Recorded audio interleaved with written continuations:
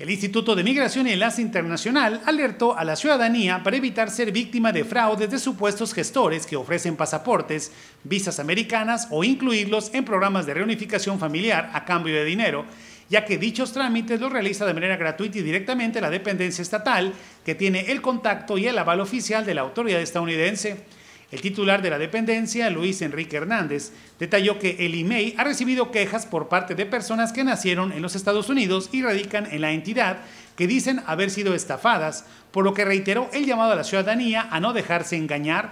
Hernández Segura añadió que los supuestos gestores piden cantidades de dinero importantes y hacen creer a las personas que podrán entregarles visas, pasaportes o enlistarlos en programas en donde solo el gobierno de Estados Unidos puede decidir ya que los pagos por visas o pasaportes solo deben hacerse directo a cuenta de la autoridad estadounidense, mientras que la gestión y asesoría no tiene costo alguno para los conacionales en oficinas del IMEI.